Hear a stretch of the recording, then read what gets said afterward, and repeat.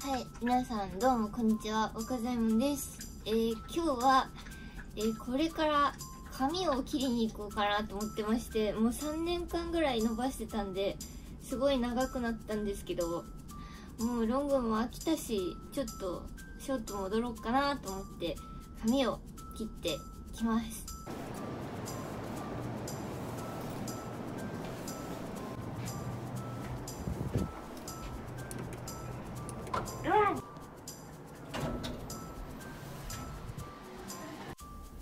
はい、えー店内 BGM が流れてたので副音声ですが、えーいつもほとんど和也さんにお任せして髪の毛やってもらってます。伸びましたね。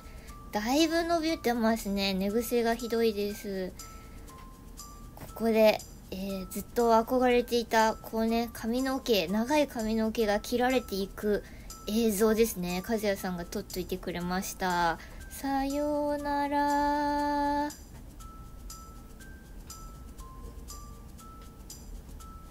えーこれは、えーその後ブリーチをする前にね髪の毛傷まないようになんかいろいろつけてもらった後ですね。はいブリーチされてますね。さようなら私の毛。それで和歌って書いておく その砂浜みたいなことしなくていい。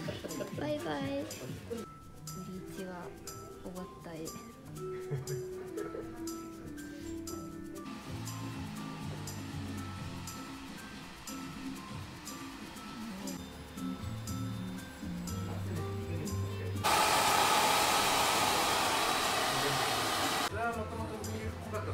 金髪だとさ頭に全部反射して真っ白になっちゃうのがね。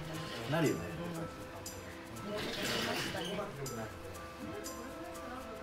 可愛い。です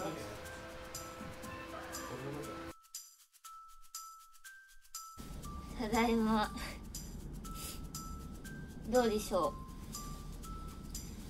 う。だいぶだいぶ短くなりました似合いますか？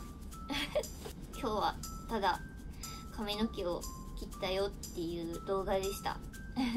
また次の動画でお会いしましょう。バイバイ。